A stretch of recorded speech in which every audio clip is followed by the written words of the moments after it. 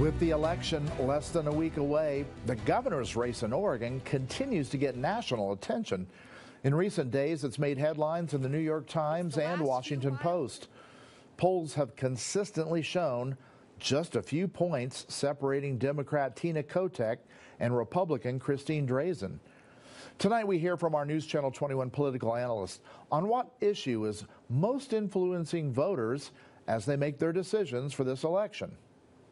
I think if you look at polling, um, and this is true statewide, this is true in Portland, this is true in Bend, um, voters are most concerned about homelessness. Um, and that's been the case actually for quite some time prior to this election. And it's kind of finally come to a head as a political issue uh, in this in this election. But I think that homelessness is number one on most Oregonians' uh, kind of issue set that they're thinking about heading into this election? I think obviously the economy is playing in right now fairly significantly.